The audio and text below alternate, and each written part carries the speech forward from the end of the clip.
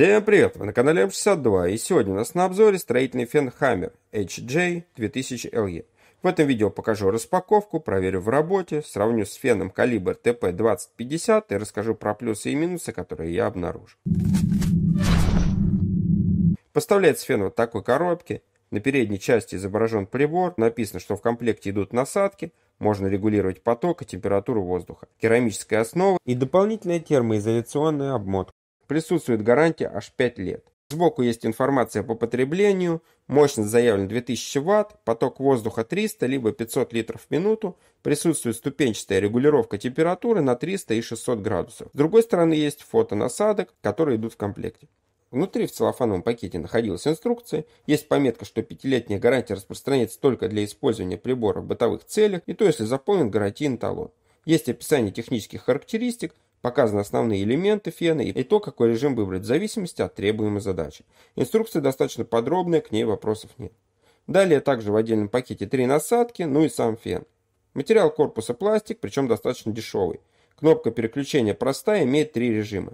Первый нейтральное положение выключен, есть первый режим работы и второй. Длина шнура почти 2 метра, на передней части есть наклейка с основными характеристиками и названием модели. В руке аппарат лежит уверенно, но не идеально так как нижняя часть ручки выполнена с таким выступом, который упирается в ладонь, и при долгой работе будет натирать это место. Лучше бы они этот выступ вообще не делали. На первом режиме уровень шума при работе около 73 дБ акустических, мощность при этом 1054 Вт. Поработал чуть меньше 10 секунд, я его выключил и сразу повалил дым. В инструкции написано, что это нормальное явление при первом включении. Что ж, надеюсь, больше такого не увижу. На втором режиме мощность возросла до 2089 Вт, а уровень шума доходил до 80 дБ акустически. Радует то, что мощность производитель указал верно. А вот дым после второго включения пошел еще сильнее первого, и запах очень неприятный, типа паленой проводки. Но спустя секунд 10 все пришло в норму, и больше дыма я не видел. Померил пирометром температуру, максимальное значение было около 460 градусов. Проверил насадки, стеклозащитная насадка на фен влезла хорошо, не слетала. А вот с плоской возникла проблема. Как ни пытался ее одеть, не получилось. Чуть расширил отверстие рукояткой ножа, все зашло. Коническая насадка вошла хорошо, но еле снял.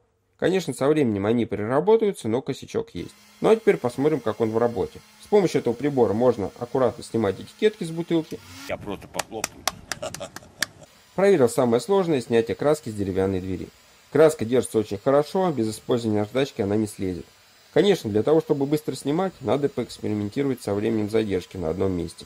Сперва я быстро прогревал, небольшие области первый слой краски быстро сходил, но небольшими частями. Потом я чуть задержался на одном месте, видно как надувается пузырь, и первый слой сходит за одно движение.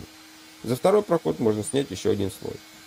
Можно феном отогревать замерзшие трубы с водой или размораживать морозильное отделение в холодильнике. Главное делать это очень аккуратно и на достаточном расстоянии, иначе можно расплавить пластик. Для сравнения взял фен калибр ТП-2050, и он оказался чуть послабже. В целом также хорошо сходит краска, но пузыри надуваются меньше по размеру. Соответственно, и участок краски слазит поменьше. Но тут надо сделать поправку, что этот фен после покупки я запустил в работу. Отработал 3 минуты, он выключился и больше не включался. Сделали по гарантии, и после этого он стал греть похуже. Так что, возможно, новый был бы наравне. Попробовал снять слой краски грубой наждачкой 40H, но после фена понимаю, что это гораздо сложнее и медленнее. Ну а теперь плюсом и минусом. Из плюсов это цена, так как достаточно бюджетный вариант.